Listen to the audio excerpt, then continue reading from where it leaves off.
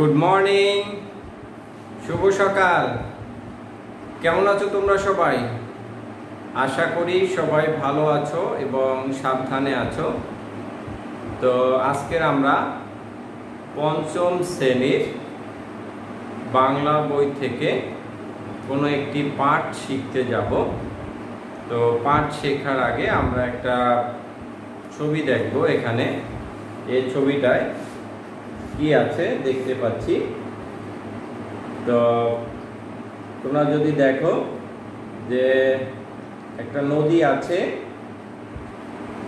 নদীর তীরে কচ্ছপ আছে, হাঁস আছে নদীর অপর তীরে নৌকা বাঁধা আছে, তারপরে সেখানে কাশফুল ফুটে আছে নদীর এক পাড়ে গ্রাম আছে। তো নদীর দৃশ্য নিয়েই, নদী নিয়েই আমাদের আজকের এই কবিতাটি। তাহলে আজকের আমরা কোন কবিতাটি শিখতে যাচ্ছি? আচ্ছা তোমরা হয়তো বুঝতে পেরেছ। ইতিমধ্যেই ইতিমধ্যে আমরা দুই তীরে যে কবিতাটি আছে, সেই কবিতাটি আমরা শিখতে যাচ্ছি। দুই তীরে লিখেছেন রবীন্দ্রনাথ ঠাকুর। আর রং একানব্বই থেকে চুরানব্বই। তো আমরা আজকের দুই তীরে কবিতাটি শিখব, পড়ব, আবৃত্তি করব এবং সাথে এর মূল ভাব কি, কবি কি বুঝিয়েছেন সে সম্পর্কে আমরা আজকের জানতে চেষ্টা করব। এখান থেকে শব্দ অর্থ শিখব, ব্যাকরণ অংশ শিখব এবং বুঝতে চেষ্টা করব। যাই হোক, তাহলে শুরুতেই আমরা এত সুন্দর কবিতাটি যিনি লিখেছেন তার সম্পর্কে একটু জেনে নেই। তো তাকে আমরা কম বেশি আগে থেকেই চিনি। তিনি বিশ্বকবি, আমাদের শ্রদ্ধেয় কবি। রবীন্দ্রনাথ ঠাকুর। তো তোমরা চুরানব্বই পৃষ্ঠায় কবি পরিচিতি। এই রবীন্দ্রনাথ ঠাকুর, একে তোমরা ছবিতে দেখেছ। তো সেখানে চলে আসো। পৃষ্ঠা চুরানব্বই। আচ্ছা তাহলে দেখি ওনার সম্পর্কে জানি। বিশ্বকবি রবীন্দ্রনাথ ঠাকুর কলকাতার জোড়াসাঁকোর ঠাকুর বাড়িতে আঠেরোশো একষট্টি খ্রিস্টাব্দের সাতই মে, বাংলা বারোশো আটষট্টি সনের পঁচিশে বৈশাখ জন্মগ্রহণ করেন। তিনি কোথায় জন্মগ্রহণ করেন? কলকাতার জোড়াসাঁকোর ঠাকুর পরিবারে। আঠেরোশো একষট্টি খ্রিস্টাব্দের সাতই মে, এটা হলো ইংরেজি সন, আর বাংলা হলো বারোশো আটষট্টি সালের পঁচিশে বৈশাখ। তিনি শুধু কবি নন, কথা সাহিত্যিক, নাট্যকার, দার্শনিক, গীতিকার, সুরস্রষ্টা, চিত্রশিল্পী, সমাজসেবী ও শিক্ষাবিদ। তার অনেক প্রতিভা ছিল। তিনি অনেক প্রতিভাবান ছিলেন। তিনি কোনো স্কুল, কলেজে পড়াশোনা না করেই অনেক বই লিখেছেন এবং অনেক জ্ঞানী হয়েছেন। উনিশশো তিরানব্বই খ্রিস্টাব্দে রবীন্দ্রনাথ ঠাকুর সাহিত্যে নোবেল পুরস্কার লাভ করেন।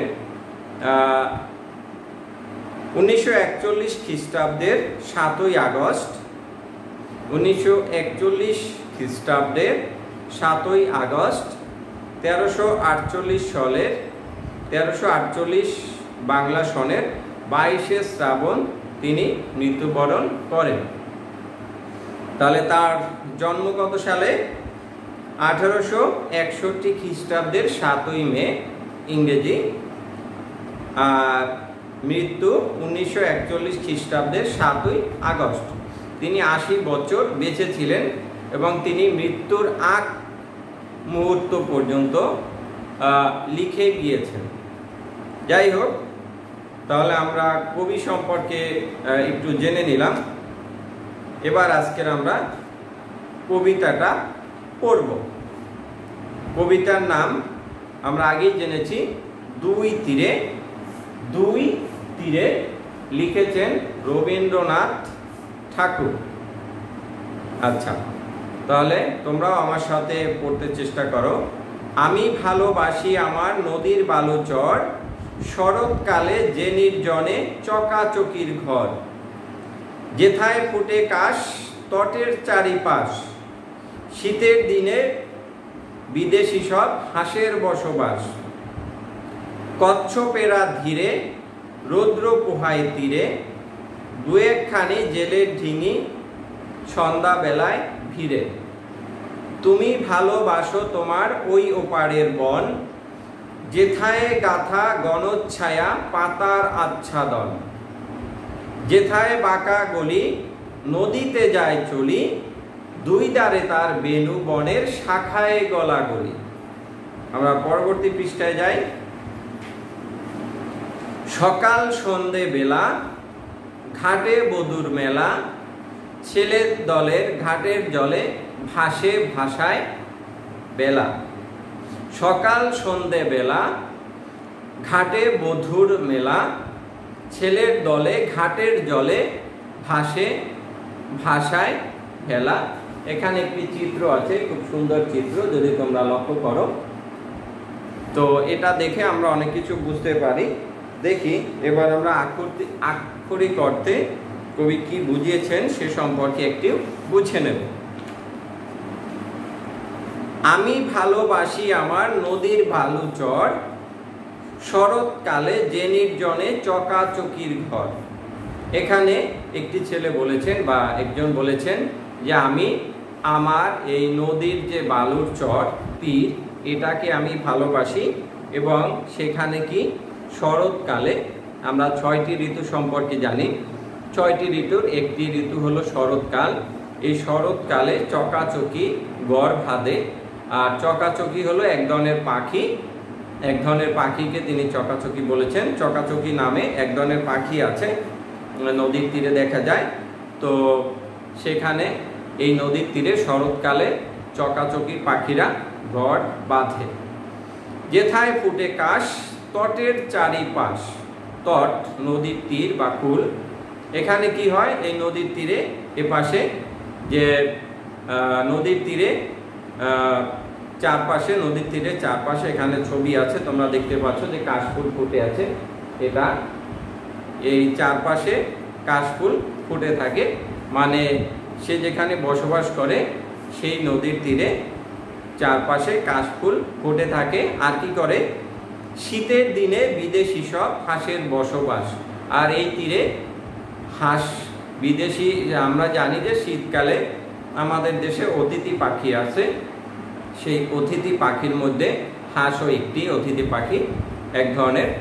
তো এই নদীর তীরে বিদেশি হাঁসেরা এসে শীতের দিনে বসবাস করে। কচ্ছপেরা ধীরে রৌদ্র পোহাই তীরে দু একখানি জেলের ডিঙি সন্ধ্যাবেলায় ফেরে। আর এই নদীর তীরে আরেকটি দৃশ্য দেখা যায়, সেটি কি?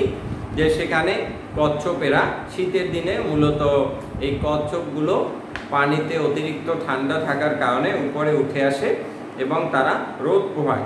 তো নদীর এই পাশটায় কি করে কচ্ছপেরা এসে রৌদ্র পোহায়। আর কি, যখন সন্ধ্যা হয়, তখন সেই সন্ধ্যাবেলায় নদীর তীরে কি হয়, দু একখানি জেলের ডিঙি এসে ঘেরে ঘাটে ভিড়ে থাকে। তারপর অন্য আর একজন সে কি করছে, দেখি তুমি ভালোবাসো তোমার ওই ওপারের বন। অন্যজন কি করে? সে নদীর ওপারে যে আরেকটা তীর আছে, সেই ওপারে বন দেখা যাচ্ছে। এখানে যদি আমরা চিত্র দেখি, একটু দেখে নাও। এখানে ওপারে বন দেখা যাচ্ছে। সেই বন ভালোবাসে। সেই বন কেমন? সেথায় গাথা, গণচ্ছায়া, পাতার আচ্ছাদন। আচ্ছাদন অর্থ ছাউনি। সেই গণ বনে গাছের পাতা ছাউনি হিসেবে কাজ করছে। মানে ছাউনির মতো আচ্ছাদিত হয়ে আছে। যেথায় বাঁকা গলি, নদীতে যায় চলি।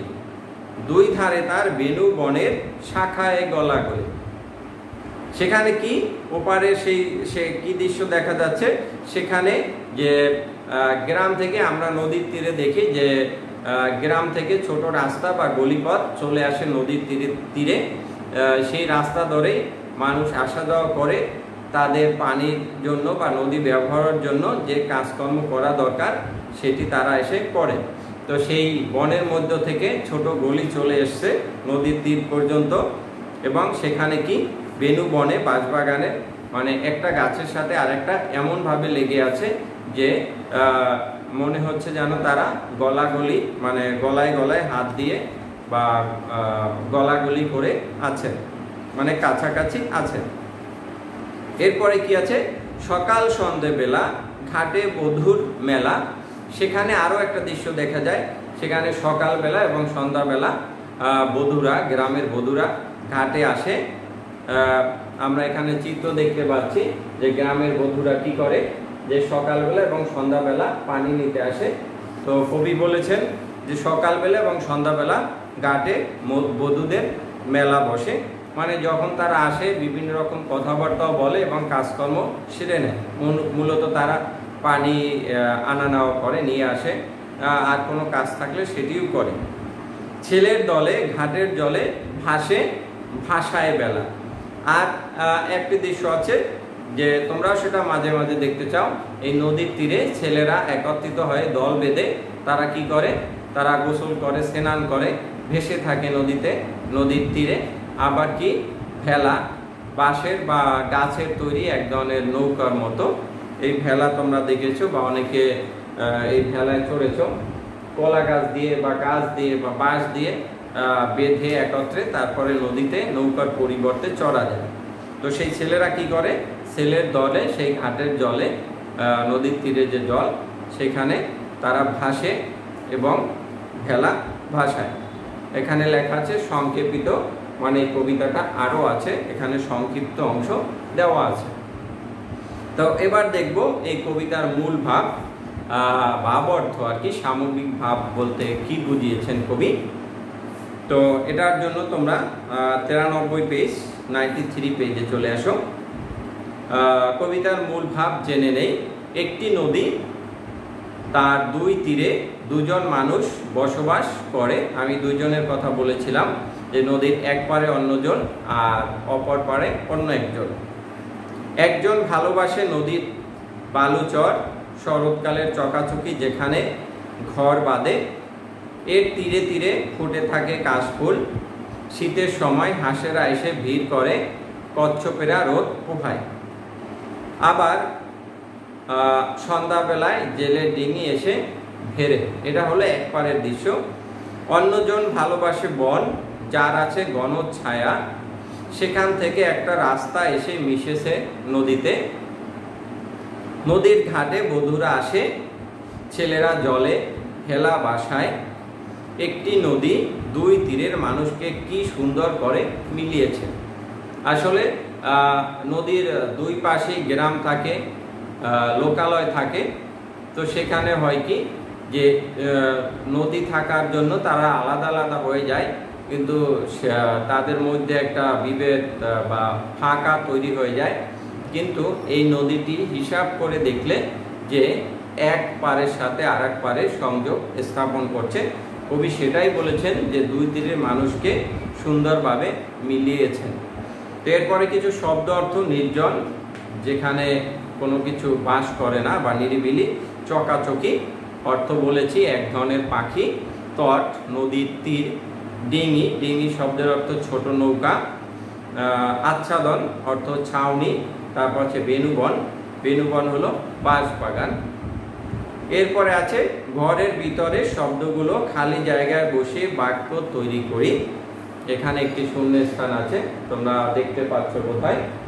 এই যে, এখানে কি আছে? চকাচকিরা, আচ্ছাদন, তটে, বেনুবন, নির্জন, ডিঙি। তো এই শব্দের অর্থগুলো আমরা জানি। এগুলো দিয়ে এখন বাক্য পরিপূর্ণ করব। খালি করে আমরা বসাবো।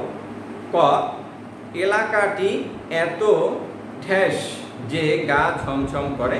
এখানে কি হবে? আমরা একটু দেখি। এলাকাটি এত, আমরা এখানে নির্জন শব্দটা বসাতে পারি। তাহলে অর্থ অর্থ ঠিক হয়ে যায়।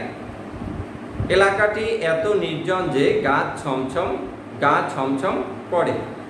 খ, নদীর ধারে ড্যাশ, ডল বেঁধে উড়ে বেড়ায়। তো নদীর ধারে কি উড়ে বেড়ায়? দেখি, এখান থেকে আমরা আছে চকাচকি, আচ্ছাদন, তটে বেনুবনে নির্জন, ডিঙি। এর মধ্যে চকাচকি হবে, চকাচকিরা। নদীর ধারে চকাচকিরা দল বেঁধে উড়ে বেড়ায়। তারপর গ্রামের ছোট ছোট নৌকাগুলো দিয়ে মানুষ ঢ্যাস করে নদী পার হয়। এখানে কি হবে? ডিঙি দিয়ে নদী পার হয়। তারপর নদীর দু ঢ্যাস প্রতি বছর মেলা বসে। দু নদীর দুই কি আমরা তীরে বা তটে দিতে পারি। এখানে তটে একটা শব্দ আছে। নদীর দুই তটে প্রতি বছর মেলা বসে। এরপরে নদীর তীরে বটগাছটি বর্ষাকালে মানুষ ড্যাশ হিসেবে ব্যবহার করে। তো এখানে আচ্ছাদন বা ছাউনি হিসেবে তো আমরা এখানে আচ্ছাদন শব্দটি ব্যবহার করতে পারি। নদীর তীরে বটগাছটি বর্ষাকালে মানুষ আচ্ছাদন হিসেবে ব্যবহার করে। এরপরে চ, নদীর ধারে গজিয়ে ওঠা ড্যাশ বাতাসে দুল দুলতে থাকে। নদীর ধারে কি বেনুবন? এখানে আমরা বেনুবন শব্দটা ব্যবহার করতে পারি।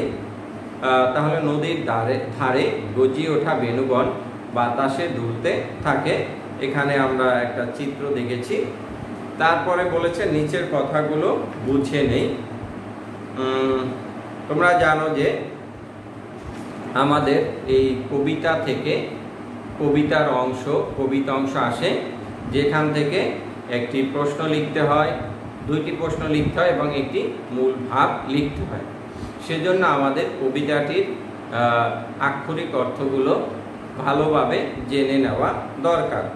আর এক্ষেত্রে আমার জানা মতে যেগুলো আসে, আমি একটু বলে দিচ্ছি। সেখানে এক নাম্বার কবিতাংশ হতে পারে এটা, তুমি ভালোবাসো, আমি ভালোবাসি আমার নদীর বালুচর, শরৎকালে যে নির্জনে চকাচকির ঘর, যেথায় ফুটে কাশ তটের চারিপাশ, শীতের দিনে বিদেশি সব হাঁসের বসবাস। এই অংশটা আসে এই অংশটা যদি আসে, তাহলে আমরা কি লিখব? যে কবি এখানে বুঝিয়েছেন যে নদীর এক পারে একটি লোক বা একটি ছেলে, যাই হোক, তিনি নদীর চর ভালোবাসেন এবং যে চরে শরৎকালে নিরিবিলি পরিবেশে চকাচকিরা ঘর বাঁধে এবং নদীর এই তীরে কাশফুল ফুটে থাকে নদীর চারপাশে বা তীরের চারপাশে, চারিদিকে কাশফুল ফুটে থাকে এবং শীতের দিনে বিদেশি সব হাঁসেরা বসবাস করে। এরপর অনেক সময় আসে যেটায় ফুটে কাশ, তটের চারিপাশ, শীতের দিনে বিদেশি সব হাঁসের বসবাস। কচ্ছপেরা ধীরে রৌদ্র পোহায় তীরে দু একখানি জেলের ডিঙি সন্ধ্যাবেলায় ভিড়ে। তো আগের অনুচ্ছেদের অর্থ যেহেতু আমি বলেছি, পরের অনুচ্ছেদটা আমি বলে দিচ্ছি। কচ্ছপেরা ধীরে রৌদ্র পোহায় তীরে দু একখানি জেলের ডিঙি সন্ধ্যাবেলায় ভিড়ে তো নদীর এই তীরে কচ্ছ, শীতের দিনে কচ্ছপেরা রোদ পোহায় এবং সন্ধ্যাবেলায় দু একখানি জেলের ডিঙি এসে নদীর তীরে ভেড়ে এরপরে অনেক সময় আসে, পরবর্তী যে কবিতা অংশটা আছে তুমি ভালোবাসো তোমার ওই ওপারের বন, যেথায় গাথা গণচ্ছায়া পাতার আচ্ছাদন যেথায় বাঁকা গলি, নদীতে যায় চলি, দুই ধারে তার বেনু বনে শাখায় গলাগলি তো এখানে লিখতে হবে যে কবি, প্রকৃতি এবং একটি কবি নদী নিয়ে একটি কবিতা লিখেছেন। সেখানে নদীর ওপারের যিনি লোকটি, সে তার বনকে ভালোবাসে এবং সে বন পাতায় ছায়ায় আচ্ছাদিত হয়ে আছে এবং আছে এ পর্যন্ত। এবং নদীর সেই লোকালয় থেকে বা বন থেকে একটি বাঁকা গলি এসে মিশেছে নদীর ধারে এবং সেই বনের পাশেই বা ধারে দুই ধারে সেই, সেখানে কি আছে? বাঁশ বাগান বা বেনুবন গলাগলি করে রয়েছে এখানে মূলত কবি নদীর তীরের এক পাশের চিত্র ফুটিয়ে তুলেছেন। এরপরে অনেক সময় আসে পরের অংশ জুড়ে যে যেথায় বাঁকা গলি, নদীতে যায় চলি, দুই ধারে তার বেনু বনের শাখায় গলাগলি। সকাল, সন্ধ্যাবেলা, ঘাটে বধুর মেলা, ছেলের দলে, ঘাটের জলে ভাসে ভাষায় বেলা। এর অর্থটুকু আগের মতো যে কবি এখানে একবারে নদীর তীরের কথা বলেছেন যেখানে আগের অংশটুকু বলে দেবে। তারপরে সেই তীরে সকাল, সন্ধ্যাবেলা গ্রামের বধুরা জল নিতে আসে এবং নদীর তীরে বধূদের মেলা বসে এবং সেই তীরে আর কি করে? সেই তীরে ছেলের ছেলেরা দল পেলে নদীতে ভাসে এবং ভেলা ভাসায়। এটুকু বললেই হবে। যদি তুমি কবিতার মূল ভাবটুকু সম্পূর্ণ অংশ জেনে নাও, তাহলেই ওখান থেকে লিখে দিতে পারবে। এই মূল ভাবের জন্য পাঁচ নম্বর, আর এর মধ্যে থেকে যে প্রশ্নগুলো আসে, তার জন্য দুই এবং তিন, পাঁচ নম্বর। তারপরে কর্ম অনুশীলন দেওয়া আছে। শূন্যস্থানে কথা বসিয়ে একটি কবিতা বা ছড়া লেখার চেষ্টা করি। এটি তোমরা বাসার চেষ্টা করতে পারো। তারপর এখানে কিছু প্রশ্ন আছে। নদীর বালুচরে কি ঘটে? নদীর দুই তীরের মানুষজন জন মানুষের ভালো লাগার জিনিসগুলো কি কি? কি কি ভালো লাগে? কবিতার মধ্যেই আছে। ঘাটে মধু, বধুর মেলা বলতে কি বোঝানো হয়েছে? দুই তীরে কবিতায় ওই ওপারের বনটি কেমন? সে সম্পর্কে এখানে বর্ণনা দেওয়া আছে কবিতায়। সকাল, সন্ধ্যা, বেলা, ছেলের দল কি করে? সকাল সন্ধ্যাবেলা ছেলের দল নদীতে ভাসে এবং ভেলা ভাসায় তো এই হলো কবিতাটি এবং কবিতার মূল ভাব তো আশা করি তোমরা বুঝতে পেরেছ। তো কবিতাটি বারবার পড়বে এবং বাক্য অনুযায়ী অর্থ তৈরি করতে, অর্থ বুঝে নিতে চেষ্টা করবে, তাহলে তোমরা কবিতার মূল ভাব লিখতে পারবে এবং কবিতার মূল ভাবটি আত্মস্থ করবে, যাতে পরীক্ষা আসলে উত্তর দিতে পারো। তো আজকের আমরা এ পর্যন্ত শেষ করব। সবাই ভালো থাকবে, সুস্থ থাকবে এবং স্বাস্থ্য সচেতন থাকবে। সবাইকে অসংখ্য ধন্যবাদ।